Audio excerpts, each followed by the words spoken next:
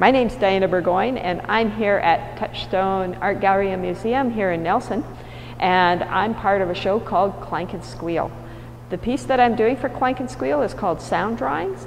It's a piece that um, consists of using a piece of paper, graph, graphite, an eraser, pencil sharpener, copper strips mounted to a piece of paper with a simple oscillator circuit.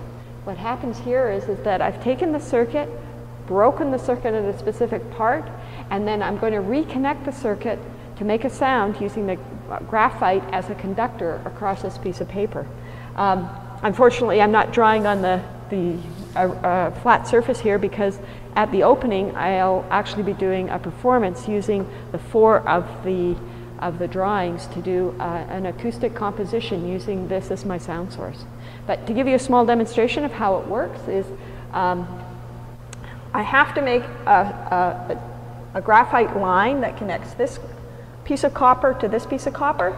Now it has to be completely solid because the electricity has to find a line for it to go through. So here, I'll just start doing it and you'll be able to see how it works.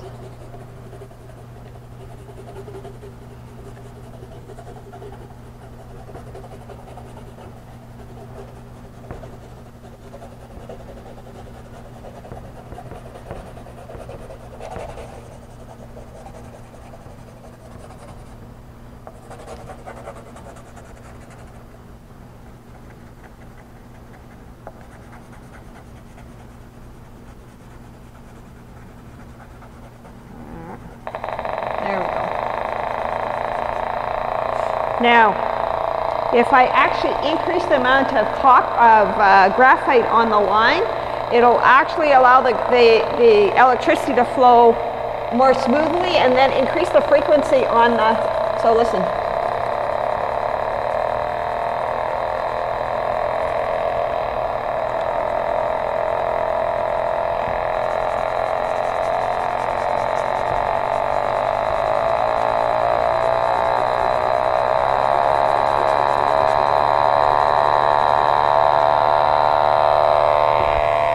And now if I want to shut it off,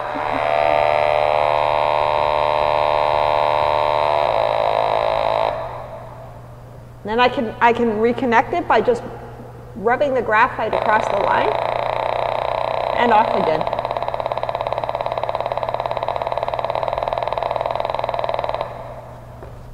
And that's my demonstration of the sound drawing.